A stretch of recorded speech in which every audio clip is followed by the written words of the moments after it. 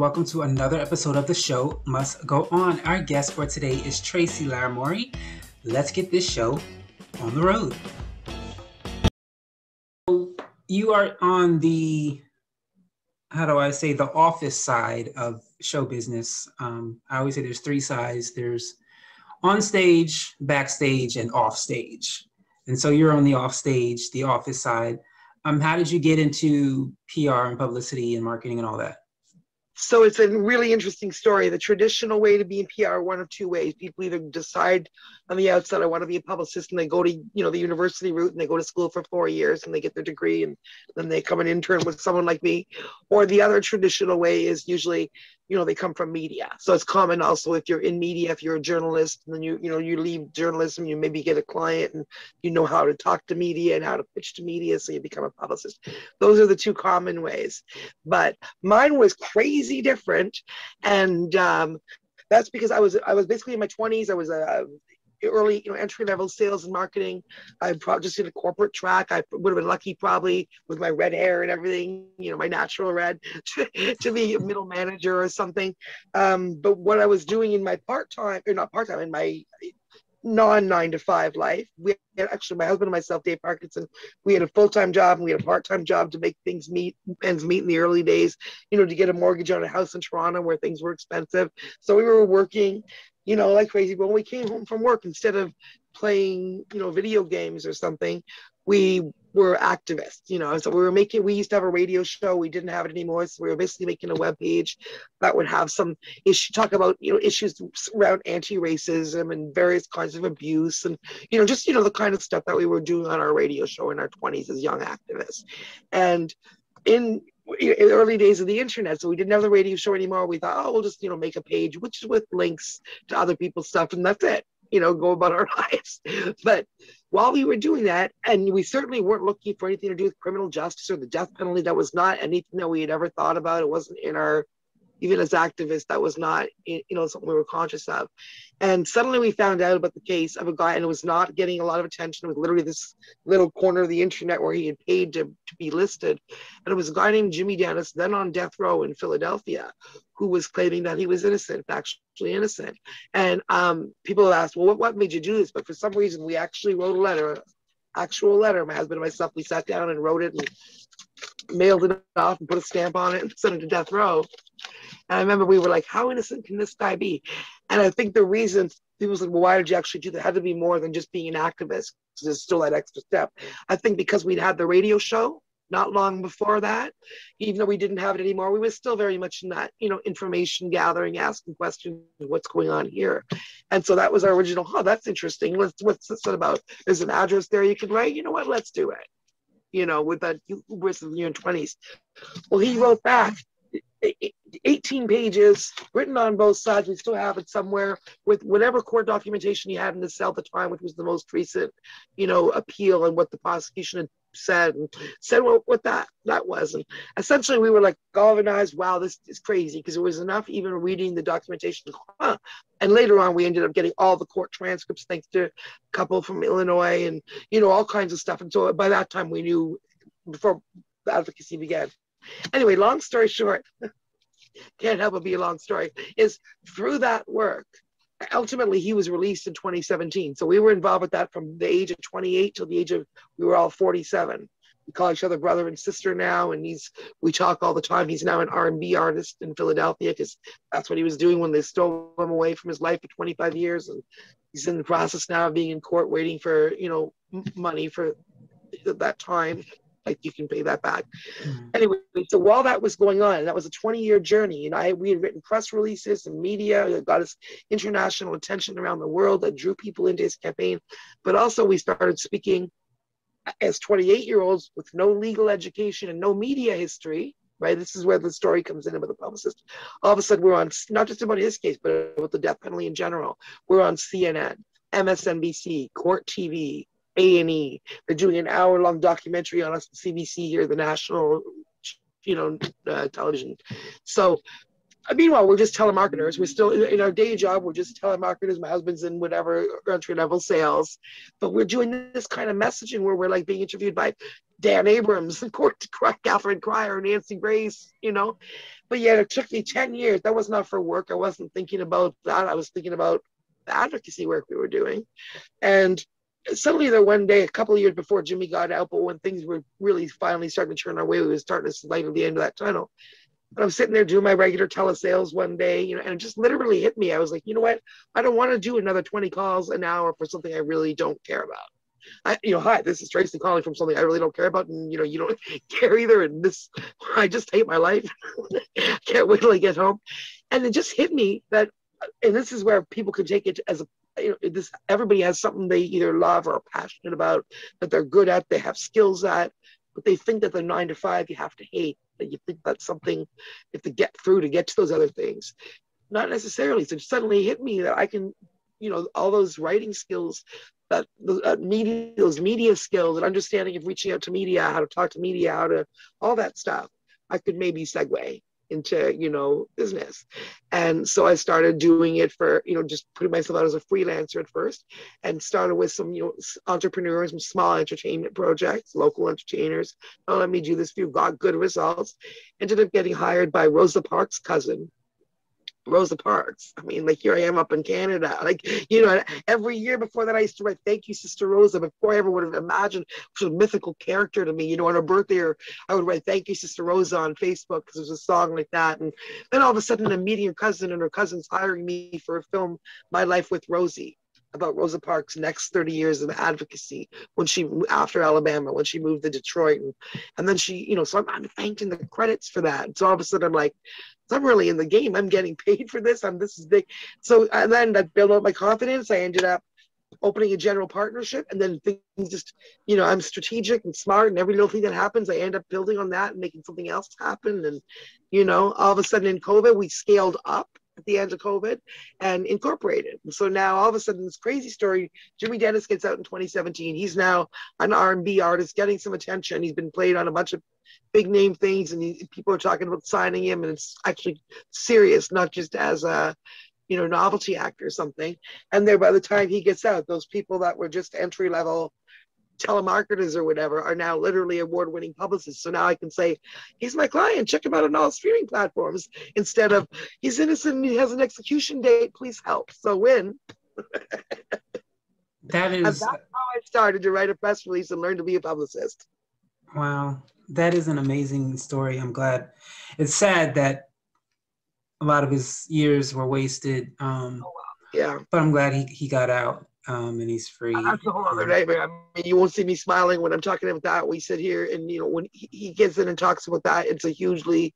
And if anyone's interested in that story, please Google Jimmy Dennis because there's articles and there's podcasts and interviews and radio shows, and he talks deep about you know that's that, I mean, there was no, you know, when people say you can never give enough money to pay that back, like honestly, I want to cry when I think about it because I was with there since 1999 is when we met him, and we were all 20 or 98. We were all 28 years old. He was 27. And then when we get out, when he gets out, we're 47 and he's 46. And my biggest nightmare is like now we're 50, and I keep thinking like, you know, I don't care how much money they give him we're 50 years old now. Anybody could drop dead tomorrow, you know? And plus those little girls that he sent pictures of when they were six and nine years old when we first met. Well, by the time then he thought he was going to get out when they were still children. By the time he got out, they literally have children the age of those they were in those pictures. So it's like you can't i don't care how many million you ultimately give them after arguing and fighting about it like the like the beast that they are because they still don't want to give justice you know? It's a, it's a whole i'm telling you man. It's not that's not a nice you know situation. And that's what i what i built. And to some people that's a controversial topic. And if you were to say hey learn to be a publicist you certainly wouldn't tell people to go out and make their public name. Because if you you know years ago if you google my name that's all the stuff that would come up. Thousands of articles about that work. You wouldn't say go make your public name on something so controversial if you're going to then come back and represent other people in entertainment. But it hasn't at all impaired in fact you know the people that have come to me really appreciate that work and like you know they know that i'm for real i guess you know? That wasn't paid work it never would be it wouldn't take you know? I just learned it took me even a long time to even like years to even think hey i could take those skills and you know why not? Use them yeah because then I would have had more platforms to and more money and all that to be successful to because look what we were able to do all those things, you know, without even two pennies to rub together as poor activists. If we'd had money to buy these platforms and billboards, and you know, who knows what we could have done. But whatever. I think it was the good, you know, every I think it's a good everything has a good result. So I'm not complaining in the end, but yeah, that's only you know after years of struggle and thinking it might not go our way. So I, I can smile now thinking we won, like, because he did get out and he's free now. And every time I talk to him from a cell, a cell, not a cell, you know, right, right. win every time. So, ah, but yeah, that's you know, there's no really short answer to how did you get into PR. You know, if it's a hard business only podcast and that's all they want, I try to condense it. But even you know, when you condense it, it's even straight. Like you really have to give the background because I learned to write a press release about a guy on death row would be the short story, but then it's like, wait, what, what, what? And you, it's not the right image what you're saying. So, yeah, it's a hard, but you know, but the the the general part where everybody can take it is, you know, even if you're the crazy red hair girl or you know overweight or whatever, there's all these barriers to you in traditional business. It doesn't matter because like if you look at your life and you look at your confidence and your own skills and your whatever, there may be something that you can, you know, utilize to build actually a life that you love as well.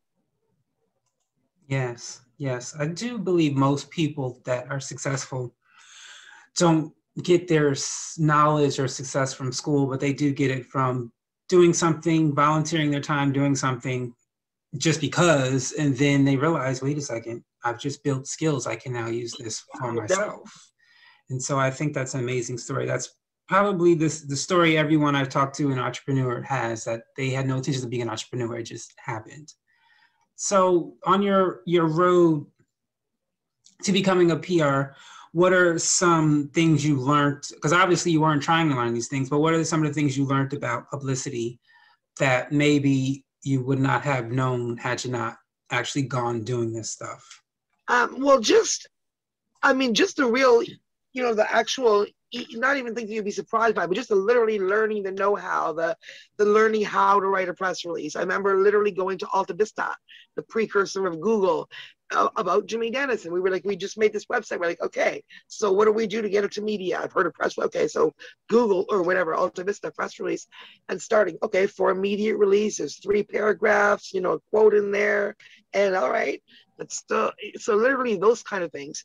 And then I don't know about so much, you know, then because there was a period of time, you know, between the really hard work of doing the media that we did for Jimmy, because then when, when lawyers got involved, you know, so at some point they're always like, oh, wait till this thing goes to court. Don't make noise right now. We don't want to annoy the judge. That's such always a thing that happens between lawyers and media, always, because lawyers really believe in the system that's what they're trained for within the courtroom, right?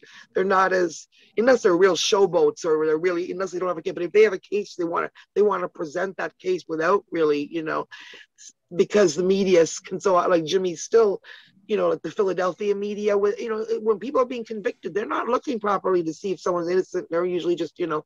So anyway, I learned all kinds of stuff about that, about media, about that they don't always tell the right story. That you you can't always assume they're going to know the story, you know, and that they're even going to necessarily be fair. Though in my professional work, they've always been fair. I, since I've been a publicist representing clients, I, I I don't know if it's because I'm skilled with you know, if I knowing where the things might be, if they're like you're gonna misunderstand something. And I'm not talking about spin because I don't do anything that I have to do spin for.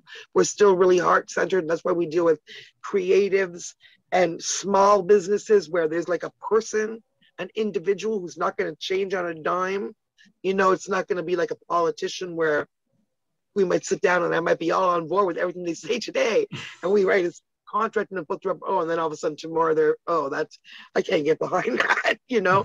so I don't like that. I want to always be you know love the messaging. So what I really learned you know is like yeah you've got to um, media always gets something wrong. It's usually something small, and you can't get upset about. People will be like, "Oh, look, they, they said I worked there for ten years, but I only worked there for I would actually work there for fifteen years."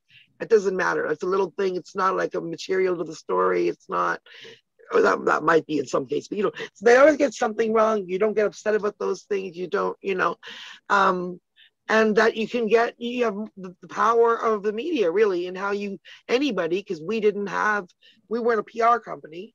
We just learned how to write that messaging. So i still say like sure hire a publicist but if you you don't if you can't and if you're good at words and you understand what we say if we're talking to an entrepreneurial audience if you understand the difference when we say when you're reaching out to a newsroom it has to be editorial versus advertorial that's huge because I mean that's literally the beginning. When people say, "Well, what should I think of first steps from an entrepreneur?" and I want to reach out to media, what would I, the first thing I do? And I said, the first thing is don't reach out to media. I'm not saying never. I'm just saying hold up.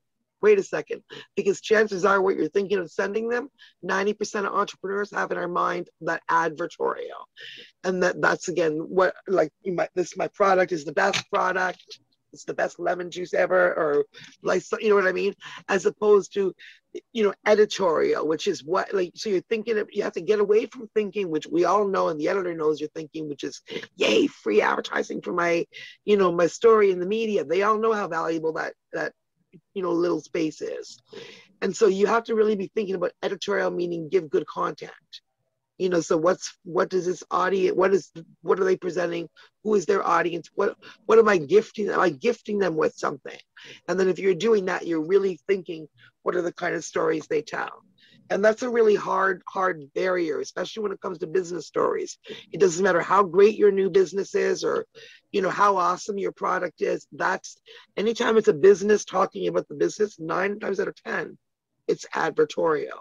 It's a really high bar not to be you know, you may have something that's newsworthy, but again, to convince the editor where that has that little limited space or that 22 minutes on the news, it's probably not actually as newsworthy as you think it is. And a good exercise is to think, where would I, you know, to actually think, really edit yourself. Where would I expect to see a story like this? Would I see that in the 20 second news normally, in 22 minute news? Not so much. Would I maybe see it, maybe not in the first five pages of the newspaper, but maybe on page A15 or A16 or in the lifestyle section. That'll tell you where to pitch it and who to pitch it to. Instead of pitching it to, you know, the business news, maybe pitch it to the lifestyle person or the, you know, so that and think about um, topical press releases, which is say there's something going on in the news, which you know is going to have is to be mentioned again in the news. So not a one-off, but something that's going to talk again. In some many cases, they'll want additional voices because it's an ongoing story. So how do they keep that ongoing story going? So for things like COVID or Black Lives Matter, you know, when George Floyd first happened, they need to keep on going. But but do you have a, a different perspective? So if you have a different perspective because you're a preacher and you've been noticing your congregation has been saying this or whatever, or you're a music producer and you've made a song about, you know, so it's not and not about jumping on bandwagons, never. So that can be a you have to watch out for that too. But in terms of if you actually have something that from either it's your job or whatever experience, the book you wrote or whatever, where you would normally you see something on TV and you turn to your friend, oh, you know what I think about that. So you actually have a perspective on it that they may not have heard. That's called a topical press release. So you would say, you know, Casey, who speaks to entrepreneurs, it's like you've you've seen a story about, you know, what entrepreneurs are, are scared during COVID of. And then you pitch and you say, hey, you know what? My name's Casey and I speak to entrepreneurs across America on the daily every day I speak to entrepreneurs across industries and I ask them all kinds of questions. And what I know, I find out is, you know, they're actually confident about this and blah, blah, blah. If they, you pitch that to them, they may come and interview you. You know, see what I mean? So that's topical press release. So that's the way you have to think about giving them angles, editorial things, not, you know, please put me in and mention my cool company. Right. So people in show business, um, how when choosing first of all the first question is how can a publicist help them especially nowadays where there's more independent artists as opposed to people you know signing up with an agency there more people are becoming independent. So how could they use a publicist and how could it help them?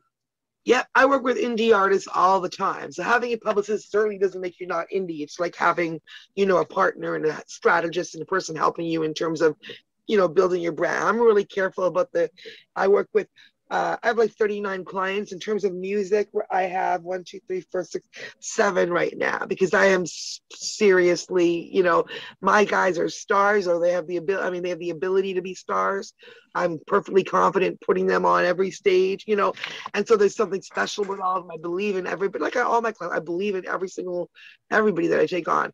Anyway, so yeah, an indie artist. So basically, you know, number one, it's you're little business, number one, as, as well as being you know an artist on the stage and you are ultimately mostly what you want to be doing is performing that's what you love you don't want to be reinventing the wheel in the back office for six hours a day you know or even two three hours a day researching because half of that time you know you'd be just researching to figure out the stuff that we already know we already have and we already have these relationships that like when an artist signs on with me i believe in them enough to take them on you know, and back put them my name behind them and everything.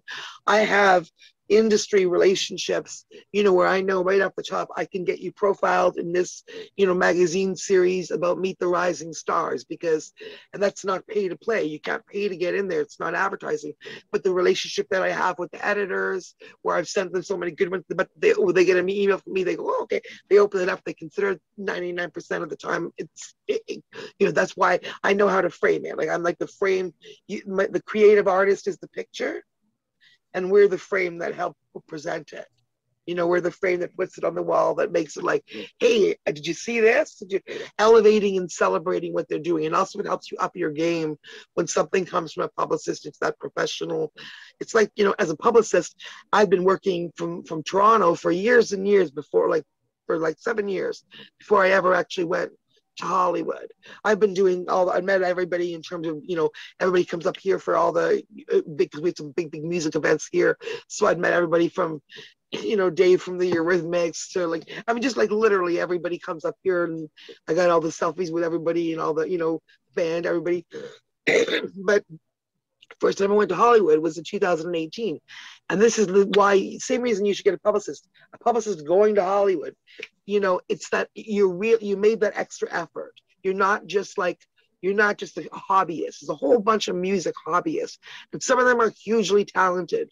But music is a business, and the people with money that are going to invest in your little business, which is you as an artist and you as a, you know, they they want to see business. They want to see that you're business minded. They like to see that you have support. When you've got a publicist, when you've got that's like having a team. And there's that confidence that, you know, from these big money people too, that okay, this is a serious person because they don't know you. All you, know, you send in a, in a music that's great music but you know can you could you even handle the big time could you because a lot of times the record companies when, when they're about to really put invest in you they'll like invest in like I don't even know what they call it. Not a, not really a therapist, but like kind of a life coach almost, you know, because they want to make sure that this person that they're going to invest a million dollars in or ten million dollars in or whatever isn't going to like suddenly pull a Kurt Cobain next week. You know, this is a business, right? So for all these reasons, this is the extra level of professionalism when you have somebody on the like you said the office side the off whatever that's like okay well my artist it's that level extra level of confidence. And also it shows that you invested you're serious. Again you're not a hobbyist. You are a professional with the professional accoutrements here's you know and even you know it just makes a difference because even even with entrepreneurs and like small business that is are not entertainment i've seen some media say not all the time you know but uh, and very rarely i should say but see i have actually seen media say to um, entrepreneurs, oh, that's great, you know, come back, have a publicist send it to me.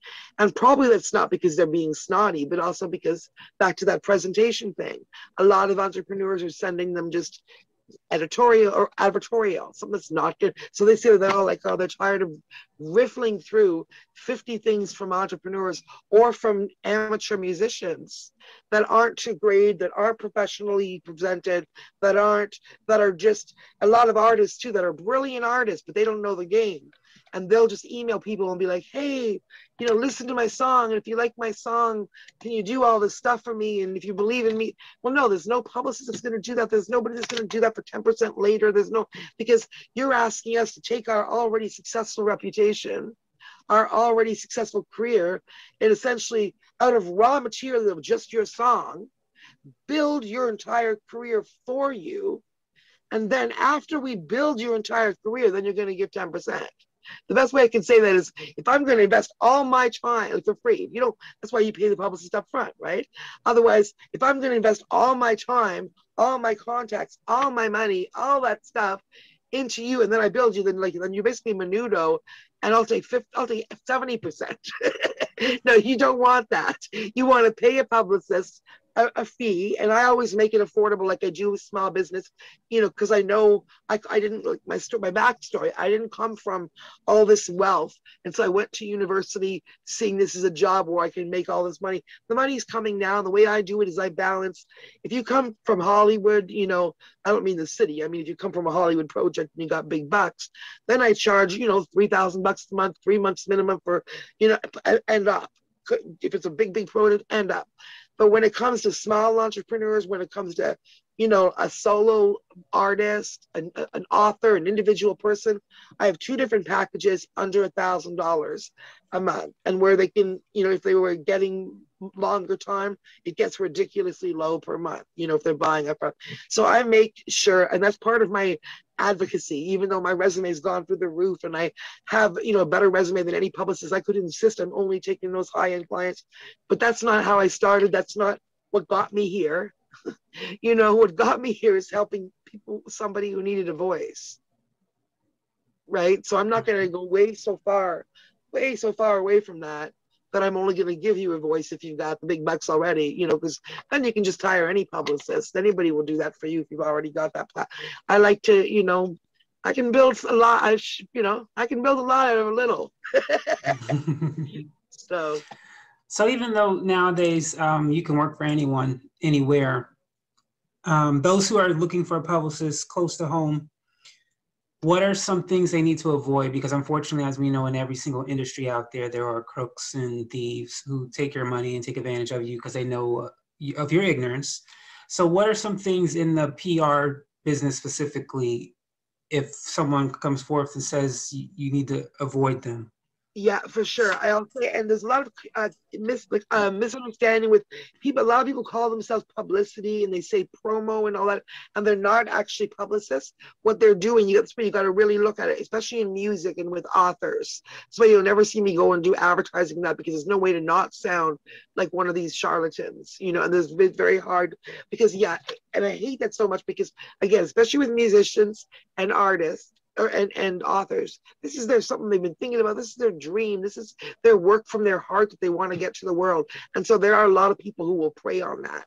And so watch out for, you know, like there's a, a lot, there's everything from, you know, $50 website, you know, we'll do, give us 50 bucks and we'll blah, blah, blah, to we'll do 2000 blah blah blah but number one thing to look out for a it is more than that but one key thing is 90% of those sites that say will promote you or whatever, look to see what they're actually doing. And if they're only talking about putting something on their website and tweeting it to their people and all that, they're not, that's not a publicist. That they're not promoting it. They're literally just, you're buying an ad on their space.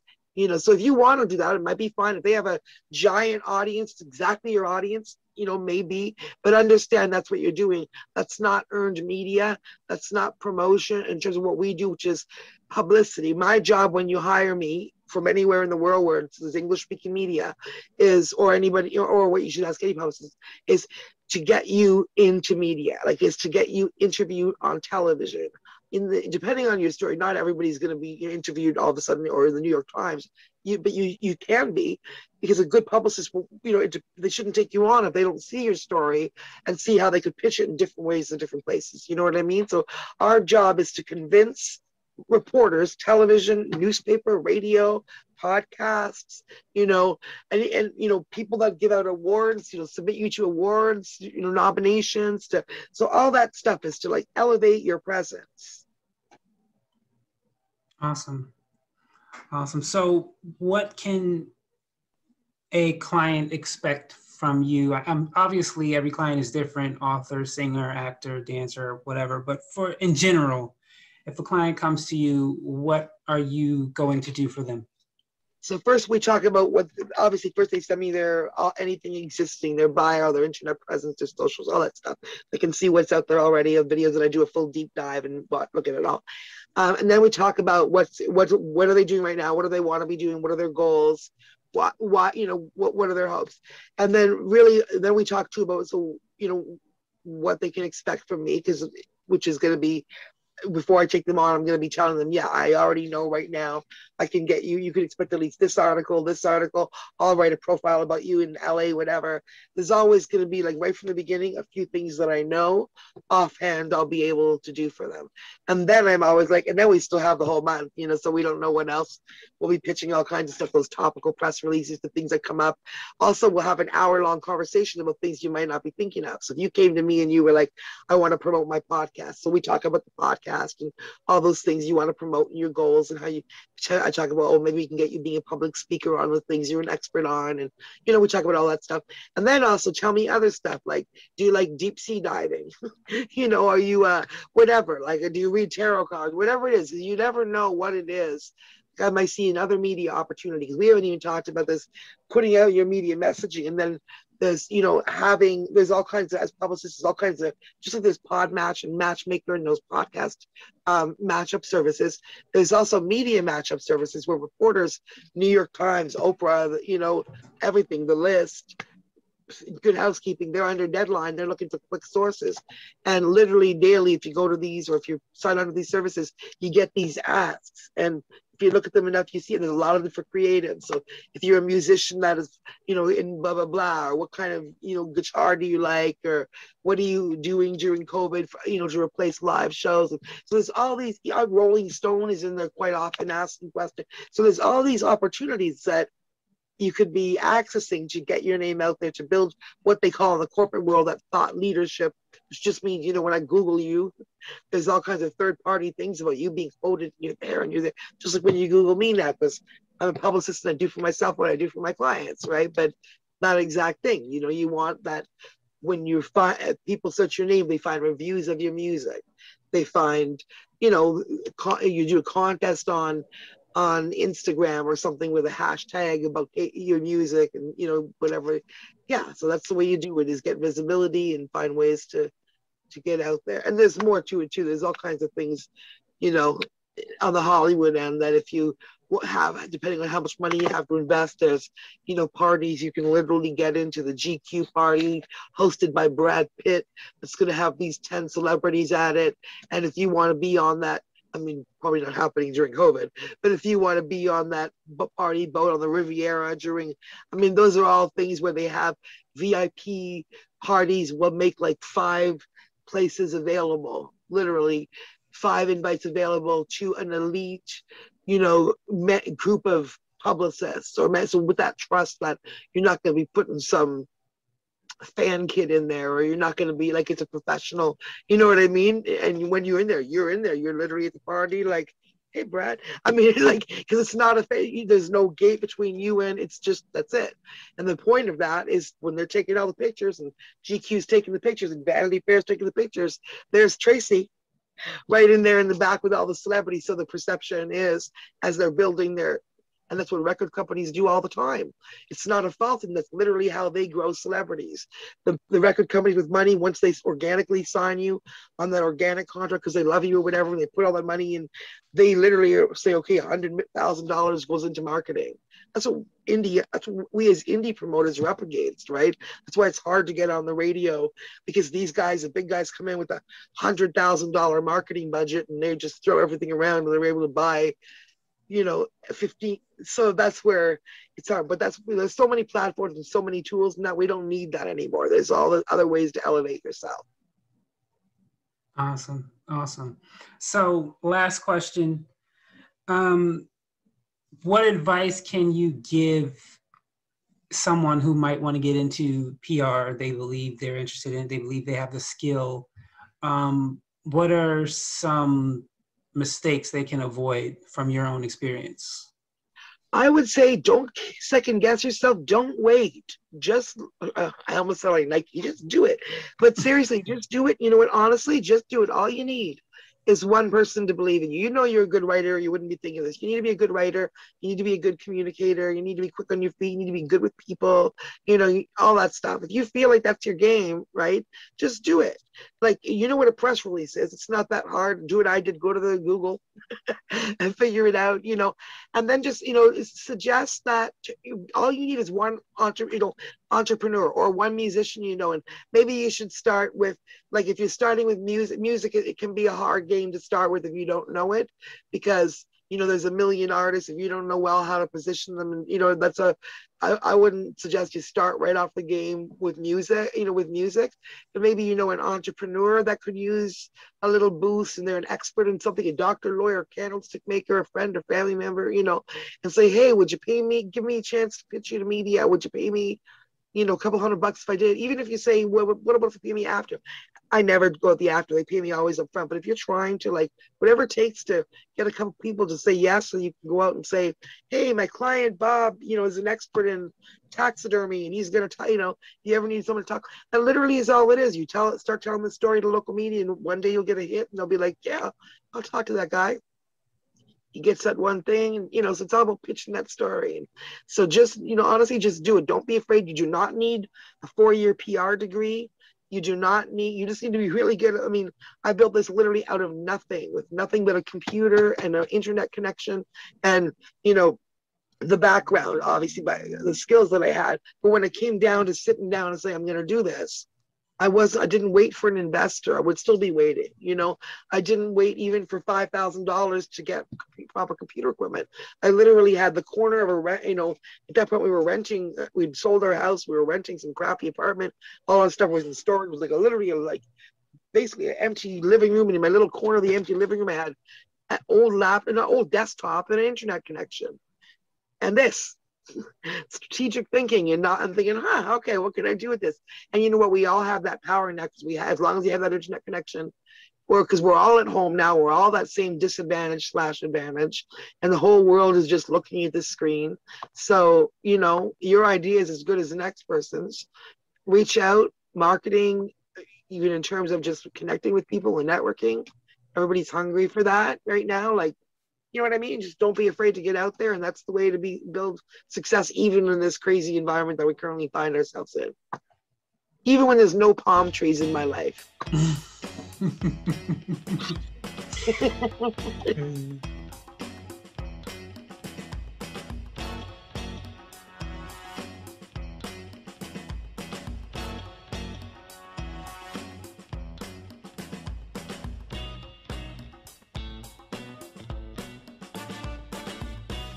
that is all the time we have for you today on The Show Must Go On.